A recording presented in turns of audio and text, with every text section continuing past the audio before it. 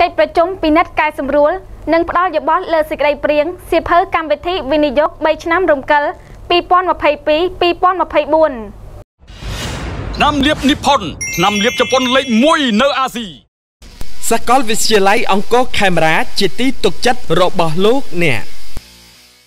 ព្រឹកថ្ងៃទី24ខែវិច្ឆិកាឆ្នាំ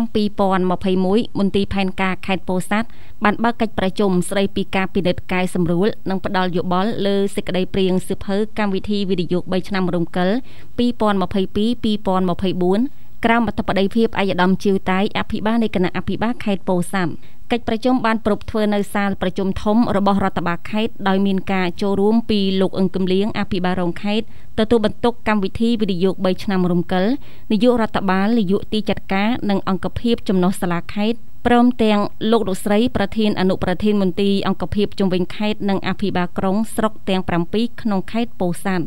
លោកឈុនប៊ុនរិទ្ធប្រធានមន្ទីរផែនការខេត្តបានរាយការណ៍អំពីសកម្មភាពការងារដែលបានអនុវត្តកន្លងមកដូចជា ការបើកវគ្គបណ្ដុះបណ្ដាលការរៀបចំកសាងកម្មវិធីវិនិយោគ3ឆ្នាំរំកិលកិច្ចប្រជុំផ្សព្វផ្សាយណែនាំដល់មន្ទីរអង្គភាពក្រុងស្រុកការពិនិត្យផ្ទៀងផ្ទាត់ភាពត្រឹមត្រូវទៅលើគម្រោងសកម្មភាពអតិភិបរបស់មន្ទីរអង្គភាព បញ្ជីគម្រោងវិនិយោគអតិភិបដែលក្រមប្រាប្រាស់តែមូលនិធិរបស់រដ្ឋបាលខេត្តនិងគម្រោងសកម្មភាពរបស់មន្ទីរអង្គភាពត្រូវបានទទួលការអនុម័តដោយក្រមប្រឹក្សាខេត្តអាណត្តិទី3បានរៀបចំវេទិកាពិគ្រោះយោបល់និងបានរៀបចំសិក្ខាសាលាសមាហរណកម្មកម្មវិធីវិនិយោគ3ឆ្នាំរំកិលឆ្នាំ2022 2024ផងដែរអាយដាមជឿតៃអភិបាលនៃគណៈអភិបាលខេត្តពោធិ៍សាត់មានប្រសាសន៍ថា កម្មវិធីវិនិយោគ3ឆ្នាំរំកិល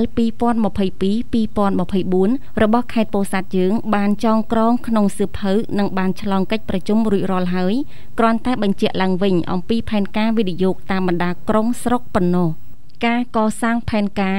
យើងកសាងតាមដំណាក់ខេត្តក្រុងស្រុកឃុំសង្កាត់ហើយខេត្តបានឲ្យមន្ត្រីចុះទៅធ្វើសមាហរណកម្មតាមក្រុងស្រុកទាំងអស់ ដែលមានអភិបាលរងខេត្តក្រុងស្រុកទទួលបន្ទុកដើម្បីបញ្ជាក់ពីផែនការរបស់សៀវភៅកម្មវិធីវិនិយោគ3ឆ្នាំរំកិលនេះអាយដាមអភិបាលខេត្តសូមឲ្យតាមបណ្ដាមន្ទីរអង្គភាពយកសៀវភៅនេះទៅអនុវត្តតាមគម្រោងផែនការដែលមានឲ្យបានល្អប្រសើរដោយផ្អែកទៅលើនីតិវិធីច្បាប់ជៀសវាងកើតមាននៅភាពមិនប្រក្រតីផ្សេងផ្សេង។